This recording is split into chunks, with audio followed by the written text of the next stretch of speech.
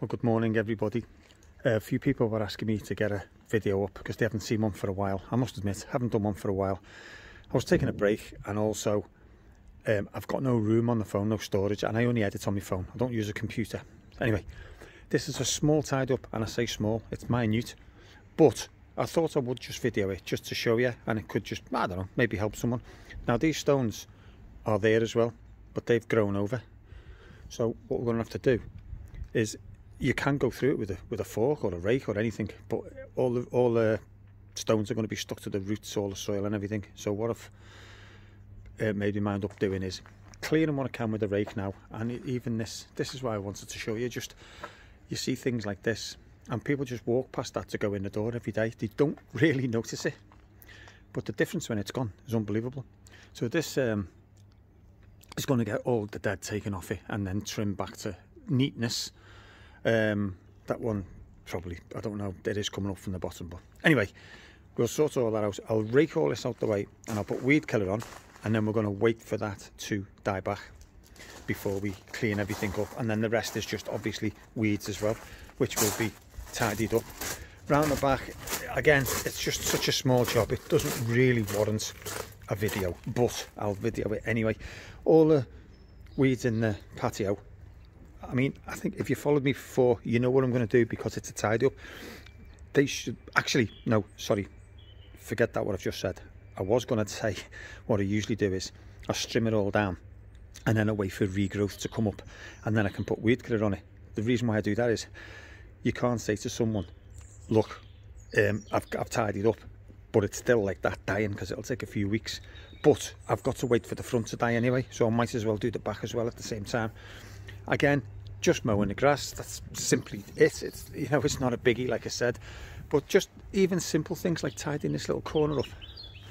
Nothing major, but just you know just putting a straight line on it, clearing that up. You'll see the difference anyway. You'll see what I'm talking about.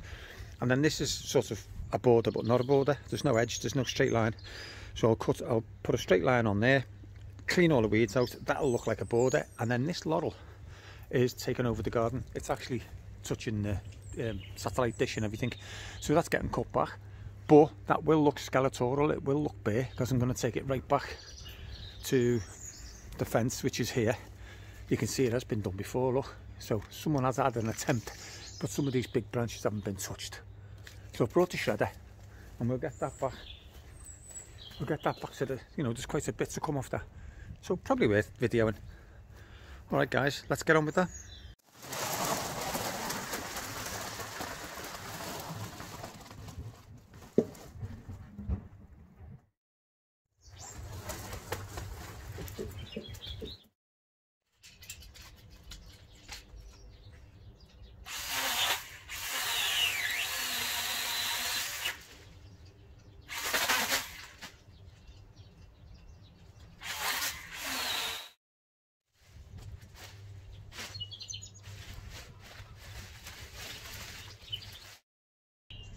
Right, well I've moved them. it's only about halfway through the job, but I've tidied up. Obviously if you if there's two of you or three of you, whatever, someone can be moving them as you're working, but I'm on my own, so I've got to tidy up the job as I go, keep it safe. But a few people have asked me, when they've watched my chipping videos, they've said, why'd you bother moving all the all the branches and everything? You're moving them twice. Yeah, you are moving them twice, but it's either, it's a 50-50 choice. You can either start the chipper and walk up and down, dragging the branches over to it from where they fell.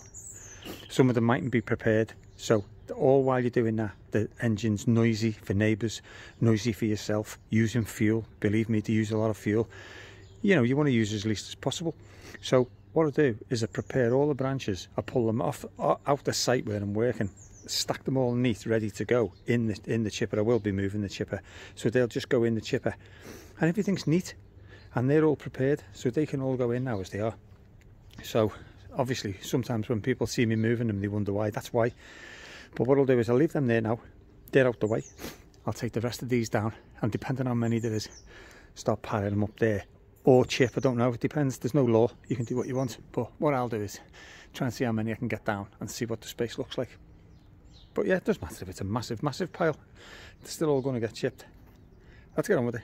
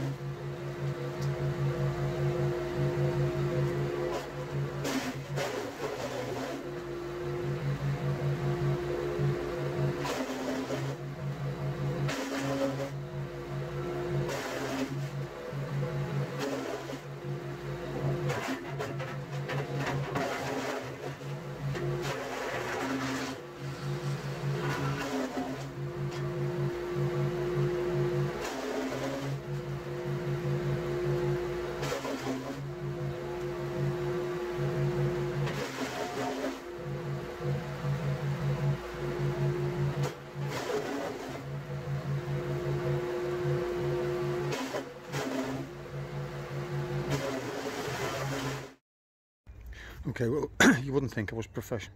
I've only brought one bin. I didn't think it was going to take that much, to be honest. So I'm going to leave this shredding for now because I've got to come back anyway. So I'll just take that one bin when I'm done now today. Um, come back and shred all that. But while I'm here, I'll tidy this little corner up and we'll put tidy this little thing up and we'll put a little straight edge here and get this sorted. Might as well do that while I'm here.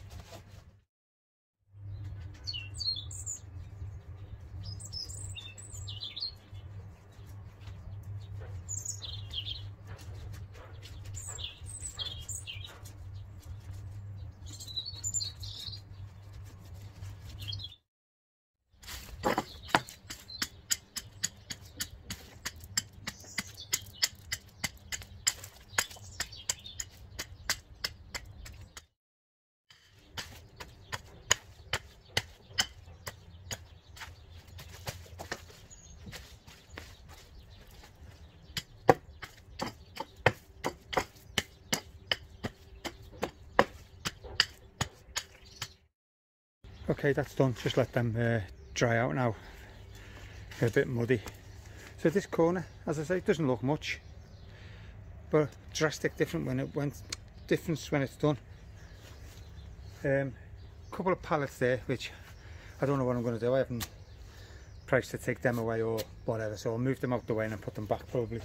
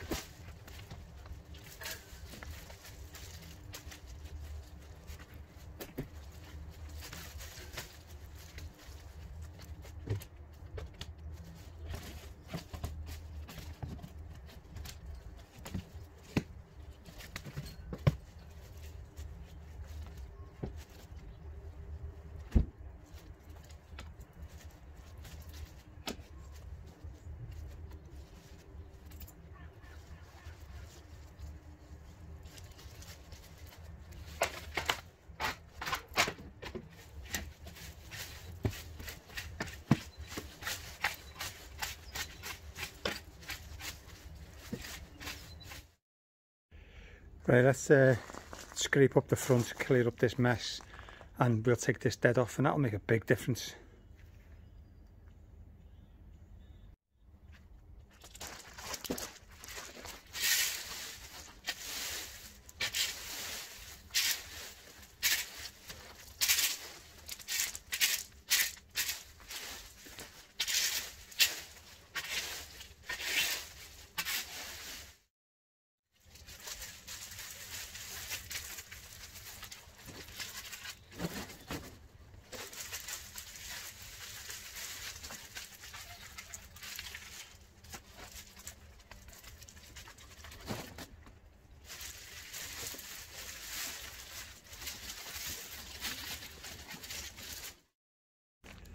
Well, that's cleared up. What are we going to do with the yucca now?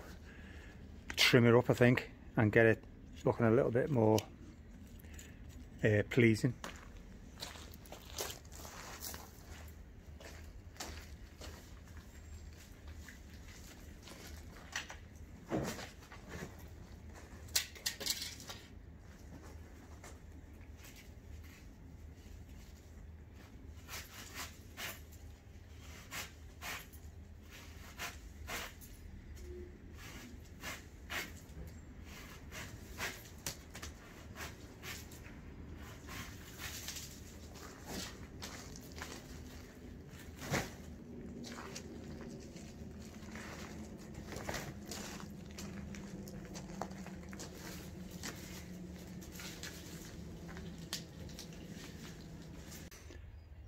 Right, we'll it a bit neater.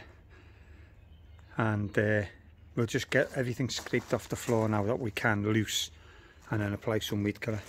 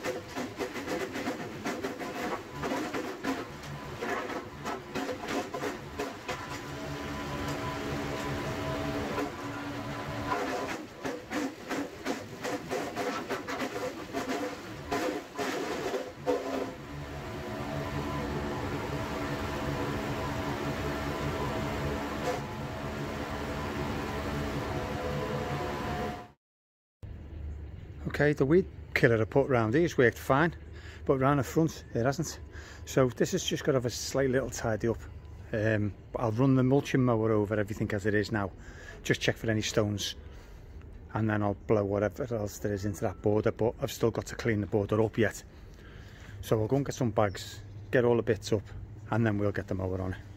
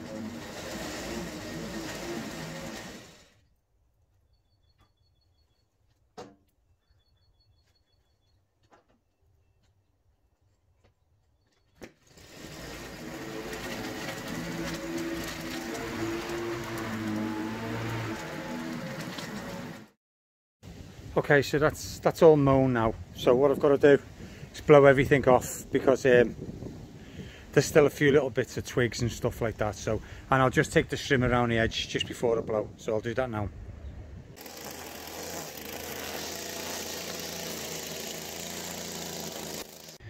Okay, all done. So what have we got? Have we got a fantastic garden?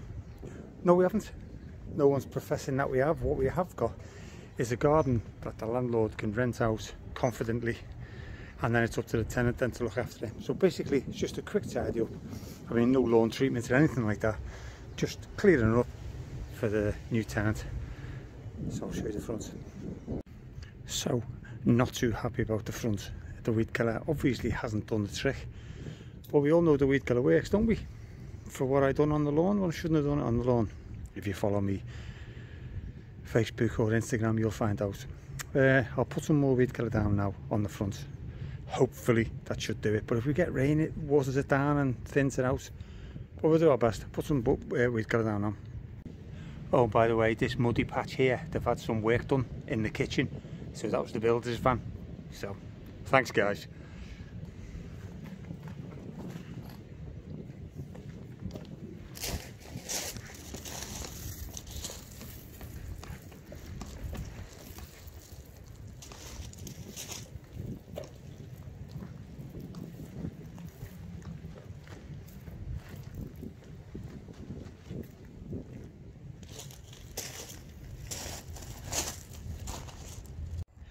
Well, obviously a couple of weeks later, and I don't think it's as dead as I wanted it to be, but well, I, I still think I'm going to struggle. But what I've done is I brought, it's a little machine I bought for a job at least five years, maybe four or five years ago, at least four, so maybe five, uh, and I didn't even do the job. So basically, it hasn't even been used.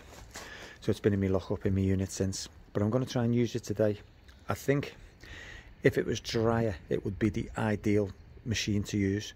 It's not dry, it's still wet, and I think the roots are still going to be gripping onto the stones. You know me, all I can do is do my best. I mean, at the end of the day, you can rake through it, fork through it, you'll do it, but it'll be a bloody nightmare, and I don't want a nightmare. I want a quick, easy job, get paid, move on to the next one. So I'll get the machine out, and we'll see if it works. Okay, well that's uh, aborted, that plan everything seems to be getting aborted lately. That's the sieve I brought, and the idea was to put the stones through. And okay, it might not work because it's wet, but that's the idea anyway. But regardless if it's wet or dry, I haven't brought the extension lead. So it's usually in my van. I don't know why I took it out, but it's not there. So it's just going to be the old manual claw and go through it. And that's it. So, you know me, not once a moan. We will do it, but it's a pain in the ass now. Let's get on with that. So this was not going to be the plan but I mean okay it's going to take a bit longer but we'll get there and the problem is in this area here they've drove over it, so it's squashed it all down. Not only is the roots, but it's all squashed. Anyway, we'll get there.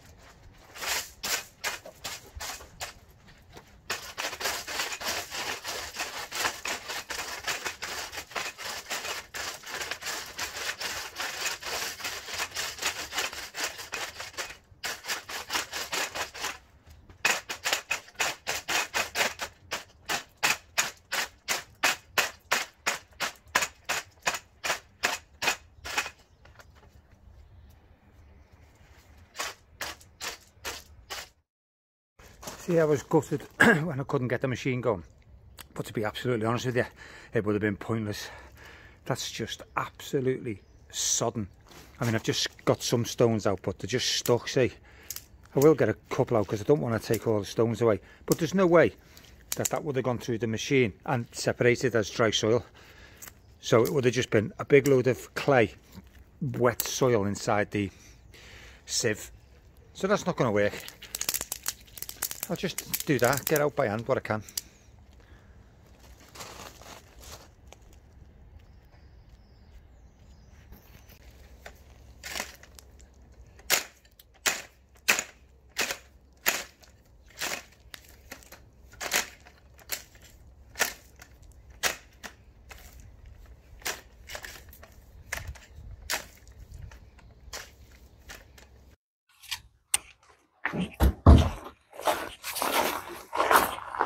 Oh, so just get what I can off.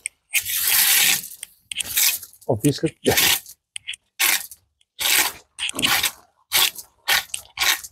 Needs a good wash, a good. I haven't got the hose pipe with me because it's been peeing down for I don't know how long. So the last thing I wanted to do is put a hose pipe in my van, which I should have done now, but I didn't.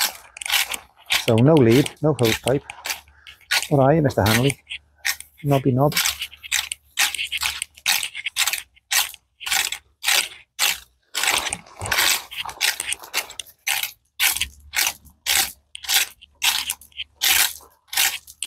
Yeah, be honest with you, it's gotta it's gotta be dry and I can get more up, but I, I can at least get it looking presentable. You're always fighting against the weather.